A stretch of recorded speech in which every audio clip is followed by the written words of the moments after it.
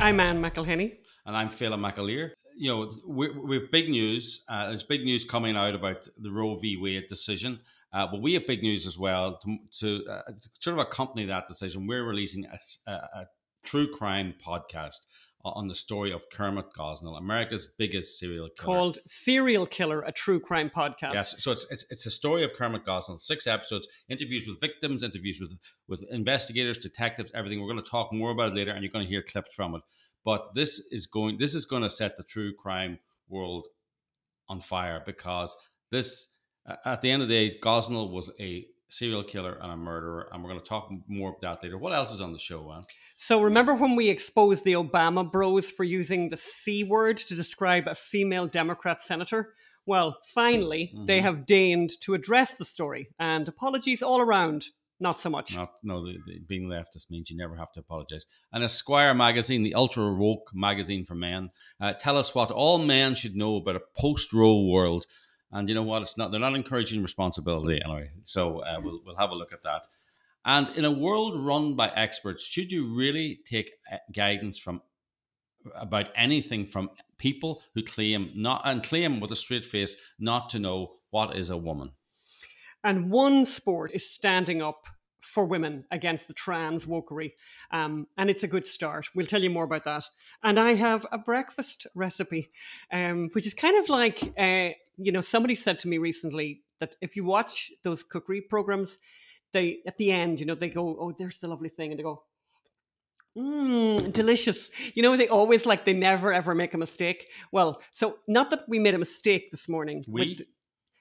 me didn't make a mistake this morning. Not so much that I didn't make a mistake. It's all it's all a we here, Phelim. Mm-hmm. Not that I didn't make a mistake this morning, but I, I'm basically um I'm experimenting with the air fryer. But uh, and anyway, I'll talk about that in a moment. I'll talk about that at the end of the show. But it's I love the air fryer, so as I've mentioned before. Yes, but we're starting with our huge news. Our big new project, which is a true crime podcast in six episodes called Serial Killer, a True Crime Podcast sometimes people a lot a lot of i think a lot of conservatives don't really listen to narrative podcasts there's a whole world of podcasts that a lot of conservatives aren't listening to so we're kind of you know breaking the mold a bit here and just, creating I just want this- to say what a true what a narrative podcast is so this is a podcast us two talking you know charlie kirk ben shapiro talking at a microphone that's a podcast but there's a whole world out there of narrative podcasts where you you interview people you tell a story from beginning. With there's music, it's very dramatic. It's very dramatic. So we have Serial Killer, a true crime podcast. It's the story of the uh, investigation, arrest, uh, tr- trial, and conviction of Kermit Gosnell, and we interview everyone. We interview um, invest. You spoke to. We both spoke to investigators, staff at the clinic, crime scene cops, district attorneys some of the victims, we, and we talked to Kermit Gosnell. Himself. A lot. We talked to Kermit Gosnell a he, lot. He you know, we got we got these jailhouse interviews with Kermit Gosnell. You know, we, we spoke to him for hundreds of hours. We've obviously distilled that down because he really loves to talk yes. and he loves to tell lies yes. and he loves to spin stories. So, um, but we bring you this, and it's we do another thing that we do because of the fact that people couldn't, they, you know, they didn't allow television cameras into the courtroom into this incredible, incredible court case. It was not televised. Also, you weren't allowed to record there. So, what we've done, which you know at this point, this is something that we do a lot. We love verbatim. So, we have taken the actual transcripts of the trial and used parts of it and reenacted them with actors. And we also include that in this podcast. It's very, very dramatic. The, the, probably the best thing to do right now, Phelim, is for people to listen and get a sense of what it sounds like. We're going to just listen to the promo right listen, now. Listen to the trailer. There's a little trailer to give you a taste of what's uh, in all six episodes. My name is Ann McElhinney, and I'm an investigative journalist. I've never covered a story like the case of Philadelphia's Dr. Kermit Baron Gosnell. I thought that I was among the most qualified and highest skilled provider. And to realize what it was he was doing and how horrific it was. It was a mill, it was a murder mill. The night they came for me, no one told me. I just took to Twitter. I would look at a reporter and I would ask them personally, why have you not covered the Kermit Gosnell story? I mean, you. I think you did take a photograph at one stage, didn't you, Adrian? Yes, I did. I took a photograph. Um, Was that the baby boy? Yes. It's the most upsetting case I ever worked on. I don't. I never had a case that, that bothered me as much as this. please subscribe for free on your podcast app and sign up for our email list at serialkillerpod.com. So what you can do right now to try to access that is, you know, just get your get your mobile phone um, if that's how you listen to podcasts. A lot of times people are listening to podcasts. You're probably listening to this, some of you, through YouTube. And if you go to YouTube in the notes, in the show notes, you can click in on the, the show notes of this episode. You can click on the links. You can click on the links, you know, in the, sh- yeah, exactly. In the show notes for this episode, you can click on the links that'll bring you right to the podcast. But you can also go to your phone and you'll see on the screen now, we're showing you the podcast app. And you click on that app and you go to the search button. We'll show you how we're doing that. Is you just type in the name of the of our podcast, which is Serial Serial Killer, Killer. a true crime podcast. That's Serial Killer, a true crime podcast. You type that in and then hit subscribe. It's all free. Everything is free, but just hit subscribe and those episodes will come to you and you can start listening. And we would really ask you to do that. And we'd also ask you to please share, share with everyone on your, uh, that you know. So podcast, Ann. Why why are we doing a podcast? Tell people. Well, these narrative podcasts that we talked about at the beginning, you know, are really, really popular. Again, a lot of conservatives listen to talk, like listen to podcast, what they think is a podcast, which is really like a radio show, like our like our show here. It's like a radio show, oh. except for it's on demand. This is a slightly different thing. It's a very produced. It's like it's like what you know, it, you know, people in the past actually used to have a lot of radio documentaries that were hugely popular in the past and very dramatic, very highly produced. This this is a new thing that where people are doing. So the true crime podcast is huge. It's absolutely huge.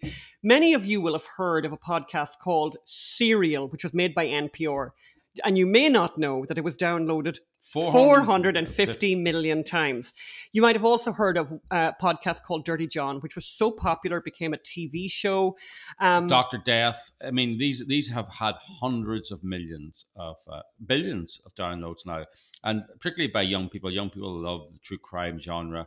They love the pod, the narrative podcast. So I think this is a great way of getting the Kermit Gosnell story to a, to an to audience. millions of young people who no, would not normally uh, know anything about abortion or know the truth about abortion or know the truth of what's going on behind these closed doors and the truth of what's been allowed to go on in the name of reproductive rights. So it's very unusual. I mean, it's really almost bizarre that Kermit Gosnell was ever discovered because, you know, you had this cop, Detective Jim Wood, who was um, working for the DA's office as an undercover narcotics officer.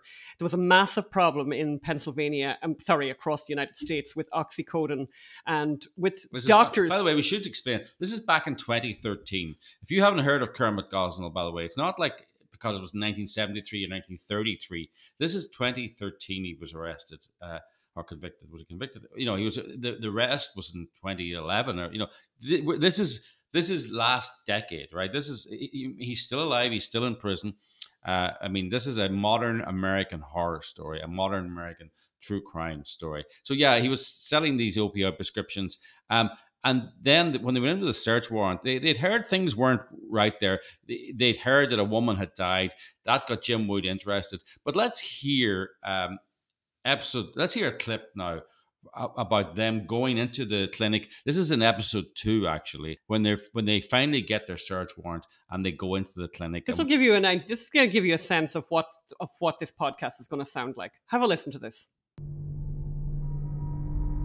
This is the side door that I went in. Uh, he opened the door with a key because there was a front entrance off of Lancaster Avenue. So agents and officers went there. Myself, Lieutenant McConnell, and a couple other detectives came with us through the side door. Now, you have to remember this was a raid, so we secure everybody so no one can grab a gun and try to harm the officers that are in there. We went in there, I'm going to guess about 8 o'clock at night. And we wanted to try to interview everybody who was there. and there were several civilians inside. There were also several workers inside. And the goal of, of a search warrant is to execute it properly and, most importantly, safely. So we, we go walking into the clinic, and the first thing that hit us was the smell. Um, a lot of times when you go into a doctor's office, there's like a medicinal smell. Um, it smells like rubbing alcohol, medicine, and all. This place stank. So really shocking. Um, you know, I mean, also it's like that's only that was only the beginning. The smell, the, the conditions were only the, the you know, the, it was a filthy, filthy place. Cats roaming around. um, uh, drug addicts uh, blocked toilets, and wait do you hear what the toilets were blocked with? Um, and also, the other thing that really struck a lot of the investigators when they raided the clinic that night was, you know, that the, they noticed that the staff were were not what you'd expect in a health clinic. That these were not nurses. That these people didn't seem to be qualified at all. Let's hear a little clip about that. Let's hear a little bit about the kind of staff that Kermit Gosnell had working in his House of Horrors. Gosnell's staff was inept, incapable, immoral. They knew what was going on was wrong. They didn't like it. In fact, the senior members of his staff graduated from the back where it was horrible and smelly and disgusting and the hours were long and he never showed up and they were left to clean up his messes. They graduated from the back to the front where they could service the pill providers and work the pill mill and make cash hand over fist working the front door. So there was a strange hierarchy. It was sad and disgusting what they did, but they were willing to do it because he incentivized them with cold hard cash and they took their paychecks and left and came back the next day. And that's why I mean they were broken people. Uh, they they had didn't have a moral compass really, and that's and so Gosnell killed. He taught them to kill. Gosnell kept trophies, by the way. He was a classic serial killer, and as one of the detectives says, he got joy from killing. Um, and he you know he kept trophies. One of the things the investigators is they opened a closet in the in the abortion clinic, and there were little tiny baby feet in jars labeled. These were his trophies. He loved keeping trophies, and uh, but how we also how, look at how how he was allowed to kill, um, and how the authorities refused to investigate his wrongdoings because they were told by politicians not to shine a negative light on abortion. And the main culprit, by the way, in this wasn't some radical Democrat. It was Tom Ridge who really opened the door for Gosnell to really keep killing and kill and keep killing. Uh, he's a Republican governor, but a pro choice one. This is back when Pennsylvania had to be liberal to win Pennsylvania. So many women and children were to die as a result of this political pressure. Let's hear a little clip. Just, I mean, we do almost a full episode on the political pressure to keep Gosnell's. But let's have yeah, let's have a listen to what you know the story on the official neglect that seemed to that really allowed Gosnell to kill with impunity for decades. As the 1970s came to an end, Gosnell was back in Philadelphia and ready to kill and keep killing. The Pennsylvania State Department of Health was at that time inspecting abortion clinics. Done properly, these inspections should have shut down Gosnell. Christine Wechsler was one of the assistant district attorneys presenting evidence to the grand jury. So the grand jury looked into evidence about what people who were in positions of authority knew and how this could be happening in a major city in the United States under the noses of so many people and places who knew or should have known that bad things were happening in there. So the grand jury started to look at whether or not there was official neglect. Was there any information or evidence that should have put this guy on someone's radar so that they could put a stop to it? So Gosnell is serving three life sentences, by the way. Um, following the trial in 2013, he he went to prison. We visited him in prison at the mm-hmm. time, mm. um, but as I said, one of the things that's very unusual about this podcast is we have very good access to Kermit Gosnell in prison, and we have as I said, hundreds of hours of tape of him talking. And we have that obviously distilled down, which is very, very dramatic. Um, but, you know, at the center of this podcast, I think, are the stories. Can I just say something? Mm-hmm to an easy way to get this podcast is go to serialkillerpod.com. That's serialkillerpod.com. We should have said that at the beginning. Yeah serialkillerpod.com. Serialkillerpod.com. That's a really good way actually to to find all the episodes. At the very center of this podcast, by the way, are the stories, are the, you know, the really tragic, awful stories that happened. You know, we have the, the story of baby boy A, who was at the very center of this case, and the picture of baby boy A that became so central and so central to to getting to making sure that Gosnell was behind bars for the rest of his life. We also have the story, the very, very awful story uh, of the tragic death of Karnamaya Mongar, a Bhutanese refugee, you know, who came to America, you know, after this arduous, horrific 20 years that she had spent in a refugee camp in Nepal. Uh, four months in America before she ended up dead. We have that story. Mm-hmm. Um, we also, though, talked to victims. We talked talk to one particular woman who had been at the clinic and who really felt, you know, she was pretty convinced that she was going to be allowed to, to, to bleed to death. So you have all these voices. It's very, very dramatic. I think there's about 30 or 40 different voices in this in these podcasts. And we've talked about this on the podcast many, many times. We've said to you, we've got a secret project. So we've been working on this for a year. And I think when you listen to the podcast, you'll you'll you'll realize yes. why it took so long. I mean, it was a very, uh, you know, it, has been a lot of work, but we're very, very proud. And we're particularly proud that it's coming out at this particular time when you know, it's very likely that the Roe v. Wade, that Roe is going to be overturned. Yes. And I think that's one thing. And I've always said this, I've been saying this for years. It's one thing to have the legislation change, it's a very other thing and a very important thing that people's hearts and minds get changed. And the only reason that will happen is if they get educated. And a lot of people are very closed to hearing the truth about abortion. People don't want to know about it, you know, for any kind of reason. They just don't want, they really just don't want to know. But what this does is a lot of people do really like listening and and and following these true crime podcasts and there and there's so many of them out there. Um, so people will come to listen to this story because this is a tri- this is a crime story. My god this is a big crime story. And then they're going to get an education. Yes. About about abortion things that they didn't and, know and things also, like yeah, you know things like you know i think it's very shocking we know that for example the two adas christine wechsler and joanne pescatore who you know who tried this case along with Ed Cameron, you know they didn't know. I mean, these are very highly educated people. These are people who know the law. And they didn't know that the law in Pennsylvania at the time allowed you to have an abortion at 24 weeks. I think a lot of people in America, around the world, don't know that you can have an abortion up to nine months completely mm. legally in lots and lots of places in America. People don't know the numbers, people don't know, you know. And of course, to remember at the center of this story, women went to Kermit Gosnell's clinic. There, you know, there were women who went there, women who were eight months pregnant, women went there, um, and nine that's months? it's an and, and nine months. We know that for a fact. So yeah. you know, this is a story that I, you know, it's accessible. It happened we're not making it up. It all was everything was revealed in court. So it's kind of a unique opportunity for people to access the truth about abortion in a way that's very accessible. And, and I hate to say this, Phelim, but you know somehow entertaining because yeah. people do find true crime very entertaining. And you'll, you'll, you'll remember the Gosnell case too, because there was a massive media blackout about the trial, and that was really the first um, social media firestorm that forced the media to apologize and forced the media to cover it. And we cover that in detail too. So we we talk to all that. So go to serial pod, serialkillerpod.com. That's serialkillerpod.com. Go to your podcast app on your phone.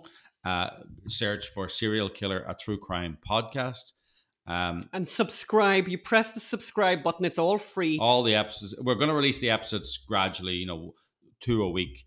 Um, hopefully, you'll you'll be able to hold on for that long. And if you haven't, you know, and if any of this is complicated as well, we're going to send out a, a letter to our database explaining yes. to people how to access this. If you're not on our database, go to unreportedstorysociety.com, unreportedstorysociety.com, and sign up, or go to serialkillerpod dot com and sign up and we will send you information about how to access it all really the episodes. Is, it's it's a great story for you. If you like Dateline, if you like 2020, if you like any of those true crime forensic files, any of those true crime stories, or if any of your children or grandchildren like those true crime stories, which we know they do, this is right up there. Uh, it's not overtly political. It's not. It just tells the truth. And by the way, the truth will set you free if you have people who you want to know the truth about abortion and truth about the crime um, of abortion, the crime that happened in Kermit Gosnell's clinic this is the perfect way to get them in and get them interested. So subscribe, and it'll just drop right into your inbox. And uh, believe me, once you hear episode one, people people were just clamoring for episode two. We sent it to a few friends and family kind of people, some critics. They just couldn't believe it. It's a it's a real nail biter. It really brings you in. So it's a great great story. Uh, and we hope you enjoy it and and, and understand pass it on and, and share it. it. on. Please do pass it, and it's free. Don't forget it's free. Uh, so You'll on other news. In other uh, news, you'll remember we broke a story a few months ago actually about, uh, and here's some newspaper headlines that generated. We we generated these from our piece on the podcast. Former Obama aide unloads a foul-mouthed tirade directed at Senator Kyrsten Sinema for disrespecting the president. And she did this. They did this on a on this left-wing podcast called Pod Save America. And nobody on the podcast with her when she said this, nobody had a problem oh, with no, it. Listen, nobody said let, anything. Let's listen to it. Let's listen to it now. They thought it was the funniest thing. And by the way, we have bleeped this out. They haven't, right? Let's hear it now. I have real issues with her. They're manyfold. Um, I believe Elijah, you tried to stump me, but I did check out CNN before I got on here, and I think in her speech she talks about the disease of division. Um, also, you guys, she gave the speech as Joe Biden was on her way up to the hill. So anyway, it's the grossest, like most disrespectful thing she could have done. I think she's a. That's what I have to say. wow. and do you know who those men are? Those feminist men, those right on men? They're former Obama aides Jon Favreau, Jon Lovett, Dan Pfeiffer, and Tommy Vietor. And that woman is Alyssa Mastromonaco, who was the former deputy chief of staff in the Obama White House. And that is what she said. And that's how funny they found it. Um, and, you know, I think she's a bleep. You know, it, it, it traveled all over the world. It was in the Daily Mail and the Fox News. And the mainstream media never called them out on it. They never apologized. They never defended themselves. They were just they never they, they being leftist never means means, never, means never, never, having to say you're sorry. Yeah, so they um you know they, this is bullying. You know under their terms, this is bullying a female politician. It's worse than that. Yeah, you know, and uh, so you know imagine if that had been said by a Republican or conservative or basically, basically anyone who's not part of this elite pro- progressive protected class. But anyway, Mastromonaco, who has this podcast called Hysteria, which is also part of the Pod Save America family, she was receiving messages of congratulations from her bosses and fellow podcast hosts, the Obama Bros. And when they finally mentioned the C word controversy, let's have a listen to that. I also understand that we received an audio message from the hosts of another podcast. I think Caroline has, I mean, has alluded to that. So why don't we play that now? Erin, Alyssa, Congrats on your 200th show. 200 episodes. From Your friends at Pod Save America. 100 episodes. That's Imagine awesome. that. Wow. That's so many episodes. And look, here's the thing. Over 200 episodes, I think we can all agree that uh, men have only gotten worse. Much worse. Yeah. Much, much worse. So there's there's more to do. Yeah. Provably so. we need yeah. at least another 200. No one wields the C word like the host of Hysteria on a podcast. I mean, they've brought it on our podcast too. Mm-hmm. Right, Alyssa? Mm-hmm. She's nodding somewhere. She's nodding somewhere, or maybe wincing. Congrats to both of you. We're uh, so proud that you're part of Crooked Media and um, the and funniest, smartest, greatest people we know. That's right. Congrats. That was a really sweet message. Um, and Alyssa wielding the C word. Come on, we've moved past that. it's not incite the masses again. oh man, that there was a smile and a wince at the same time. Okay. Again, it's an opportunity for laughter, now they talk about wincing, but there's no regret there. The wince was more that they were called there's no out. apology, right? Yeah, no, there's no apology. But they were. He's talking about wincing. They were wincing that it was out in, as they say, among the masses. So just remember, uh, being a leftist means the rules don't apply to you, and you never have to say you're sorry. Unbelievable. Oh, and then this is this is just a little thing, you know. Um, I was in Barnes and Noble the other day, and I saw Esquire magazine for sale. Well, I saw Elliot Page, who was who was a girl, a girl I mean, on a man's that on a man's magazine, right? I mean, you know, that'll really get people to buy that magazine, won't it? The euphoria of Elliot Page, you know. Anyway, but up here, I know I caught this. What every man should know about a post Roe world. They're going to tell you about responsibility. Do you think they're going to tell you about um, supporting women? Do you think they're going to tell you an abortion clinic is not a time machine? You don't emerge from it never being pregnant. You, you know, you don't emerge. The woman does not emerge from it never having been pregnant with your child. No, they um the, here we go. What man? Uh, what man can expect in a post-Roe world? By Hannah Matthews. Good girl, Hannah. You go, girlfriend.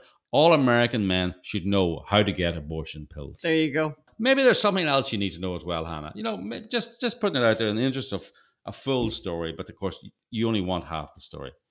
Um, and just as a little another side one, just a question: Do the people who want to tell us about COVID and they want to tell us about climate change, all these experts, they also claim not to know what is a woman. That's pretty, that's a great point, actually. Yeah, they want to tell us they want to tell us to change the, our everything about our world that because of climate change, which or COVID, all, or COVID, we're going to die. We're all going to die. Basically, I think it's always that we're always going to die, except for the one thing. Yeah, something simple like that, like what is a woman, and they can't answer that.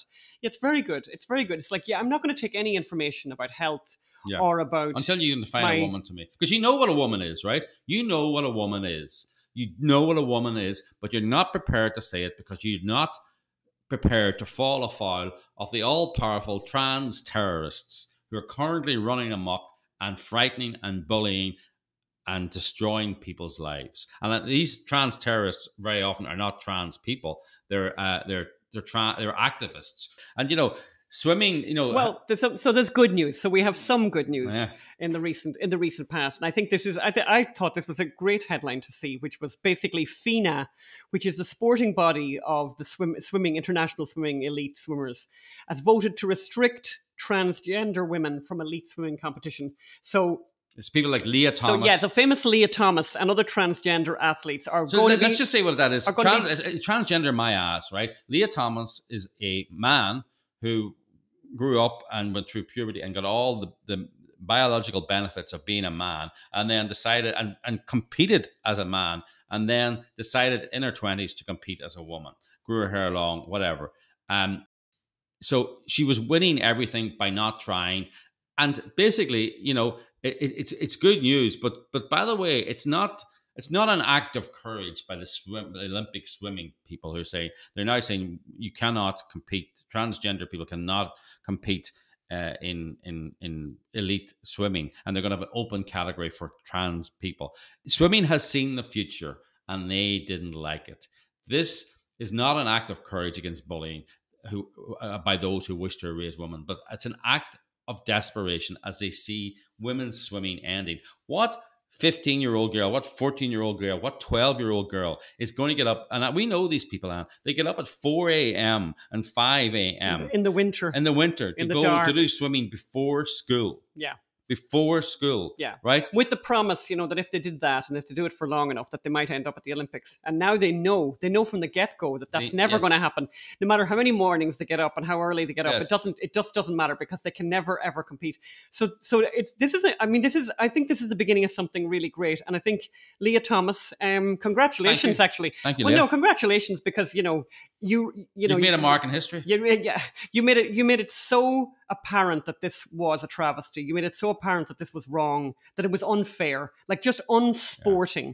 that people even, you know, every, that basically everyone had to agree. So this yeah. is kind of amazing. I mean, you know, and it's interesting, by the way, the reaction of some of the of some yeah. swimmers. Like a lot of swimmers are are d- delighted and they're welcoming this, including in, including Emily um, Seebohm, who is an Australian swimming swimming champion, and she said uh, you know, 100% relieved. You know, she was talking to the Daily yeah. Mail and she said, um, biological women won't have to compete against transgender athletes after yeah. this landmark decision. But, but uh, really, I, I thought was interesting was, you know, here she goes, it's such a hard topic because no one wants to, she, she says she kept quiet. And, and, and everyone's keeping quiet, even though they're outraged by it. She says it's such a hard topic because no one wants to be the first one to say anything because you're scared of cancel culture you know, and and this has allowed people to come out and say this was always wrong. Now, some people have come out and said, "Oh, we've got it. you know, this is terrible." It's not. It's perfect. It's wonderful. It's it, it has saved female swimming, and it's hopefully it's going to save female sports. And they've given trans people their own uh, Olympic. Uh, oh yeah, they're going to have some kind. Of, they're going to have some kind of an open category now. They're going to take the next six months to try and work out how that'll actually work. Yeah. And I can't imagine Spoiler how many. alert! It won't. Yeah, it won't. I, I can't imagine a huge, ca- you know, number of people wanting to compete. Well, in that. very interesting. I would suspect now that they have closed off this loophole, there'll be a lot less transgender swimmers. Okay, and we've come to the end of the show. So basically, the last thing I want to talk about is this um, experimental experimental air frying breakfast idea I have, mm. which uh, uses these really cute little um, poaching silicon poaching cups, which I bought. I think you fell in love with them sometime in a shop, and I saw them when they I was. certainly look like something I would fall in love with. They're very cute. They're thing. very cute, and we never use them. But what's really great is those silicon little cups are fantastic for the air fryer, and so basically what I did here and what I so what I did here was what you want to put in is, and you can use anything. Look at the variety of ingredients we had here. Like, so bacon, onion, little bit of peppers. What else? Tomato, um, obviously egg and Gruyere cheese, and some cream or milk. Mm. It's basic is the basic ingredients. And what you do is cook the ingredients first. Cook the onion, the bacon, uh, the tomato, just a little bit on a, on a on a on a pan. So then you have them all cooked. Imagine them all cooked in those little cups. This is the mistake I did make. Then put the little bit of the cooked material, whatever amount you want, at the very bottom of silicon poaching mold, and then on top of that pour in. You have I did four eggs with some like a half a cup of cream and pepper and salt and some red pepper flakes, and then pour that in on top and put it gently into the air fryer. And I would cook that for about 10 minutes, but it depends on your air fryer. They're all kind of different.